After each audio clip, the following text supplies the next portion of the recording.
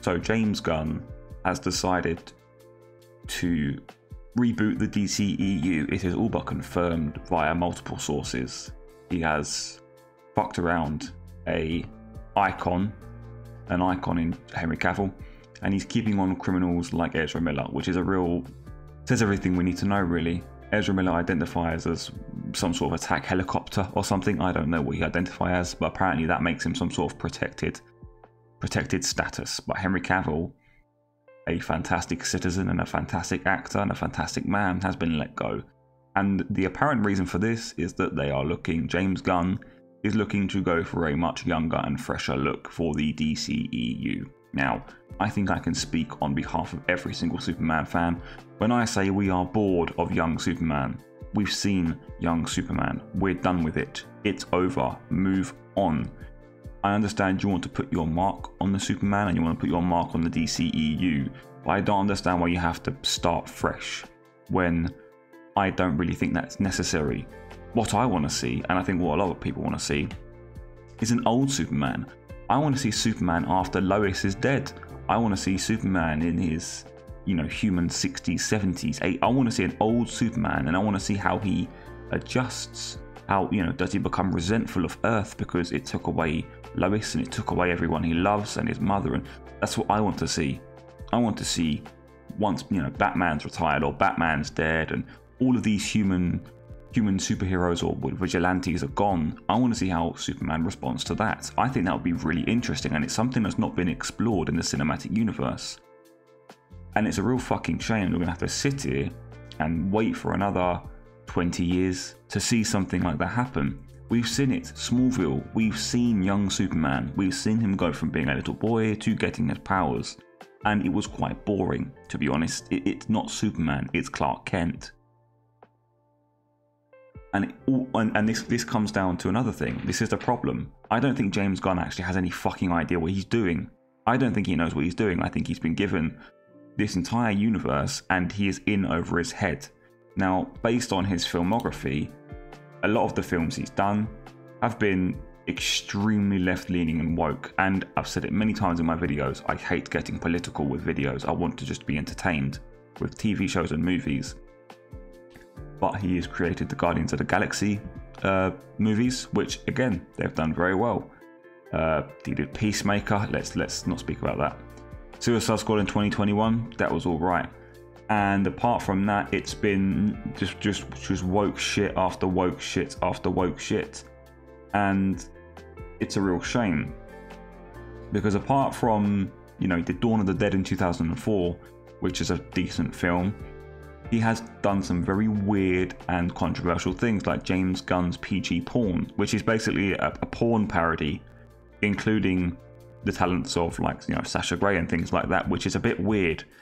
Uh, he's just a very strange man in general, and I don't really think he is the sort of person you want running an entire universe.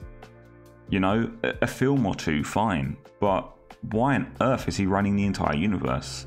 it, it's not it's not good. It, it's not looking very very good for us. Um, and as a diehard DC fan of 15 plus years, I'd say I've been a bat. Yeah, I mean, Batman's been my favorite superhero for God knows how many years, and Superman's pretty probably right up there. It, it's just a shame. Um, the only saving grace I've seen is that Bane will be introduced into one of the Batman films, but the Batman films may not even be linked into the DCEU. Robert Pattinson's Batman, which was a pretty, pretty decent film, may not even be introduced into the DCEU. So the one positive thing, which was Bane, which was linked to be Batista, Dave Batista, or Halfdan Bjornsson, which plays the Mountain in Game of Thrones, um, isn't even going to be in the DCEU. And Dave Batista has already said that he's too old for it, which I agree. He's not, you know, Prime Batista would have been perfect. You know, when he was in the WWE and he was in Raw, that would have been the per- perfect moment for Batista to be Bane. He was an absolute monster. He was a freak of nature at that size. He was sort of like, you know, he was like a, he was like a Latino Brock Lesnar. But I think, I think Thor, the Mountain, is perfect. He's about six foot nine, six foot ten, very well built familiar with wearing uniform, you know, costumes and wearing heavy costumes and masks and uncomfortable equipment with, you know, with the mountain. So he doesn't need a lot of screen time. the only problem is that I don't know the reason that Bane worked so well with Tom Hardy was that Tom Hardy is not only a fantastic look for Bane, his acting chops. Bane was made into an extremely interesting character through Tom Hardy's articulation of his persona. I don't know if Thor has the ability to do that. He's a very big dude, but the whole point of the mountain was the mountain would just not speak. He was just a big dude that fought. So I don't know if he's got the range. Anyway, I'm rambling on a little bit now. But I'm very concerned as a DC fan to see James Gunn has come in, he's got rid of Henry Cavill, he's got rid of uh, Momoa, and, well, to be fair, Momoa was on the way out anyway, uh, and Gal Gadot, and he's basically got rid of a lot of the old guard, which we love. And he's keeping the young, the younger generation, which isn't necessarily a bad thing. I think to make a fantastic DCEU, you need a mixture of both. For example, you have the old guard of Tony Stark and you have the young Spider Man to have under his wing. I think it works very, very well, that dynamic when they're all young, they're all young, they're all naive, they're all ignorant, and they're all inexperienced. There's no mentorship there. There's nothing. I don't know how that would work. The whole, the whole point of, you know, you've got you've got you've got Bruce Wayne with Alfred, a mentor father figure. You know, when you think of the great TV shows, The Walking Dead, Rick and Carl, father figure, mentoring. You know, as I said before, Tony Stark and Spider Man. You've got Ant Man. I can't remember his name. Michael Douglas and uh, Paul Rudd. You need these relationships in superhero films because otherwise things become extremely, extremely strained. And it's a real shame because all they had to do was keep a few of the older generation actors on, like Henry Cavill or Gal And even Henry Cavill was in his 40s. He's not even old. He's, he's middle aged at best. You know, he's in his late 30s, 40s. So to, to state that he's too old to play Superman is a, is very stupid. When you've got Ezra Miller, who was okay, and apparently the actor that plays Cyborg. So the two people out of the entire, you know, out of the entire DCEU, the two heroes you're keeping on are the non-binary one and the black one. How do you expect that to look? It's woke as fuck. It's just I don't understand. And uh, uh, James Gunn hasn't got a fucking clue what he's doing. He has some very strange approaches to things, all things film, which is fine. You know, he's an interesting man. Uh, in order to succeed in that sort of area, you have to be a bit nuts. You know, you have to be a bit insane in order to be able to be that good. Look at the likes of Heath Ledger, probably one of the best actors of all time, in my opinion. Definitely the best Joker of all time, up there with Jack Nicholson.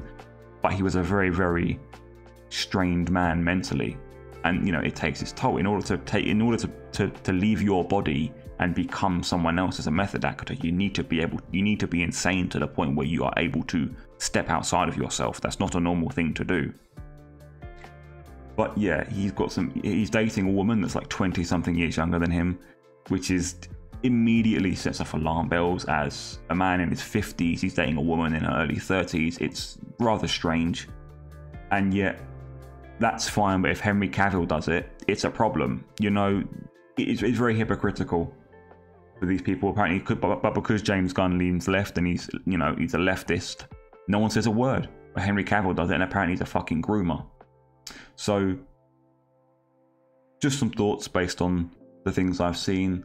James Gunn is looking to make the DCEU younger, which is in my opinion, a stupid idea. That's not what we need. We need the opposite. I, we, we want to see these p- characters in their twilight years. I want to see a bitter Superman. I want to see a resentful Superman, angry at Earth for the death of Lois Lane and and all of the times he's saved Earth, and yet he's still treated as an outsider. That's an interesting story. That's what we want to see.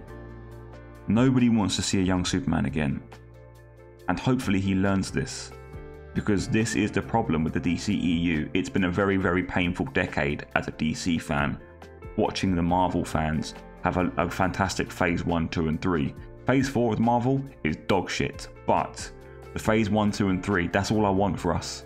I, I would take, you know, we had a few bright spots over the last decade, and that's about it.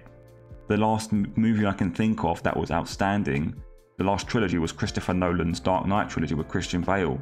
That's it apart from that, I can't think of any other DC films that were absolutely sensational. Apart from that, and then the Man of Steel movies. Um, everything else has been slightly above average or average, and it's really painful as a DC fan. So hopefully, There are other DC fans out there that agree with me, but if you do disagree with me, I would like to hear why in the comments below. And I hope you are all doing well. Have a lovely evening. Take care.